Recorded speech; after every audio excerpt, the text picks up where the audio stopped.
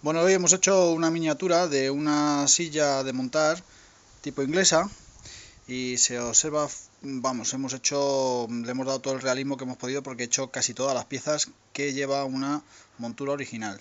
Así a simple vista podemos ver el, el primer faldón, que de él cuelga los estribos y la correa de ajuste. Vemos la costura también aquí. Eh, de lo que viene siendo el taco delantero, le lleva cosido por el interior, se puede ver que lleva el taco delantero. Vemos también el, el delantero, el trasero y el asiento, todo en una pieza, cosido también, con la costura. Por debajo se ve claramente el canal de los bastes, eh, vemos el baste de derecho el izquierdo y el canal por medio, bastante grueso.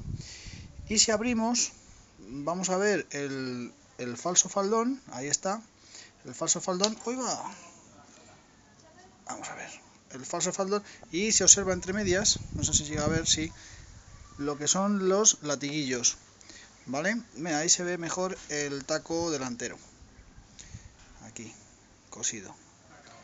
¿Vale? Y aquí están los latiguillos que son eh, donde se uniría la cincha. Bien, aquí como decíamos está el ajuste y la correa de estribo. Y el acabado pues, pues es así, una silla bastante completita, bastante bonita porque claro, respetando todas las piezas pues la hace más, más bonita visualmente.